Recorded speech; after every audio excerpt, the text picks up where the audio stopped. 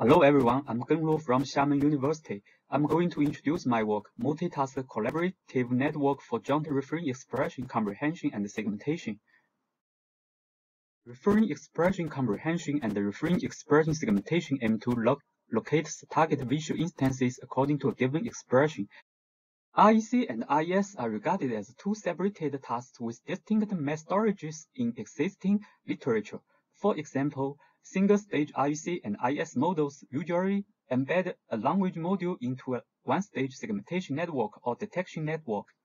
Although some recent works like MAttNet can process both REC and RES, they are still under single-task setups and their multitask functionality are largely attributed to their backbone detector. So we focus on jointly learning the two tasks in this paper. Such multitask learning brings several advantages. For example, REC can help RES better locate the referent, and RES is trained with pixel level labels, which can help REC obtain better language vision alignments during the multimodal training. However, such joint learning will suffer the main difficulty. We term it as prediction conflict. It's urgent in REC and RES because of the referring settings. In this paper, we propose a new one-stage multitask network for jointly learning REC and RES and we address the prediction conflict issue by proposing two modules. Our MCN has achieved a new state-of-the-art performance in the two tasks on three datasets, and is six times faster than existing multi-stage methods in REC. We firstly introduce the multitask framework. There are three designs for promoting multitask learning. The first is multimodal multiscale fusion. We obtain the multimodal tensor by fusing the language and vision features and then follow the upsample concatenation convolution step to make multi-scale fusion.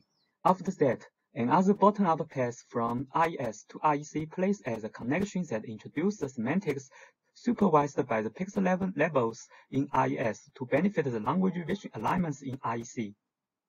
Besides, to adapt the requirements of the two tasks, we use the large-scale features for RES and the small-scale features for REC.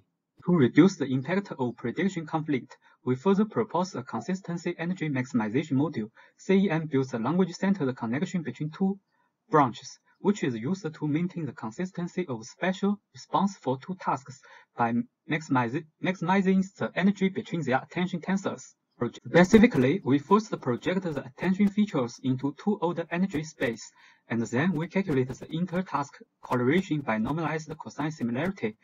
Finally, we maximize the sum of products during the training. We further propose a soft post-processing method termed as adaptive soft non-located suppression to address the prediction conflict. Based on the pre predicted bounding by REC, ASNLS adaptively expresses the response of unrelated regions and strings the related ones to yield a robust RES mask. Specifically, given the predicted mask O by the RES branch and the bounding box B by the REC branch, each element in O is updated by an enhancement factors alpha up and decay factors alpha dec. The alpha up and alpha dec are adaptively calculated by the confidence score of the bounding box from REC branch. As for metrics, we follow previous works to use IOU to evaluate results of REC and RES. We further propose a new metric, inconsistency error, to measure the impact of prediction conflicts. In our experiments, we first conduct ablation study to validate each component in our models. In Table 1, ASNLS outperforms other post-processing methods. And from table 2, we can see each design contributes to the performance, and the proposed ASNLS and the CEM can significantly reduce IE score. Then we compare MCN with other single task structures from table 3 and fig 5. We can see our multitask framework is superior to different models of single task setups and shows advances during the multitask training. Finally, we compare with the state-of-the-art models on both REC and RES tasks.